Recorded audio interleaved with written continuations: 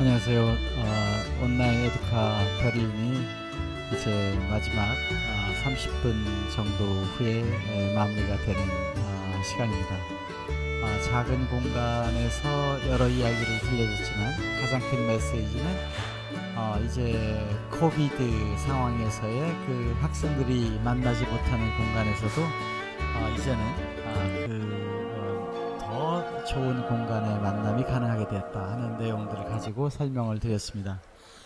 아, 학교에 가서 선생님을 만나고 또 교실에 가서 학생들이 대화를 나누는 그런 공간이 있었다고 하면 이제는 학교에 가지 않더라도 선생님이 교실에 가지 않더라도 학생들과 선생님이 강의를 듣고 대화를 나눌 수 있는 그러한 새로운 플랫폼 아이스튜디오와 줌, 아이스튜디오와 마이크로소프트 팀스 들이 연결돼서 우리가 지금까지 사용되었던 비대면 수업 방식에 있는 것에다가 선생님은 이 장치를 이용해서 강의를 하면 된다.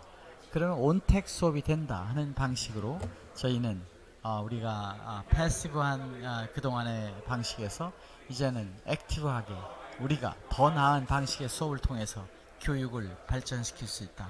그리고 선생님을 만나는 교실에서는 이제 우리가 코로나가 끝나서 만남이 됐다 하더라도 선생님과 학생들이 더 많은 시간을 대화하고 토의하고 하는 flip learning의 교실이 완성될 수 있다고 보면 이 기술이야말로 매우 중요한 적어도 우리의 강의와 아, 이 프레젠테이션만은 이쪽으로 뽑아내는 그러한 새로운 방식을 갈 수가 있다는 의미에서 중요한 의미를 갖고 있다고 생각하는 것입니다.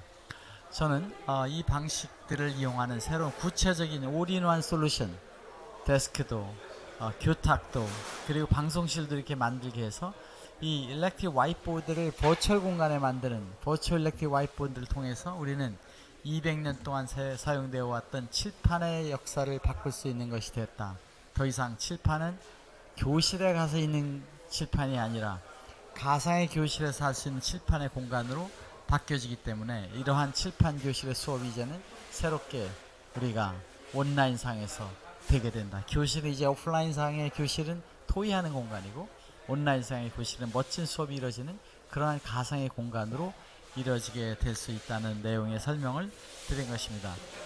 여러분 이렇게 에, iStudio를 이용하는 강의를 수없이 많은 Online Educa에 있는 아, 사람들이 에, 설명을 듣고 강의를 들으면서 지나갔습니다.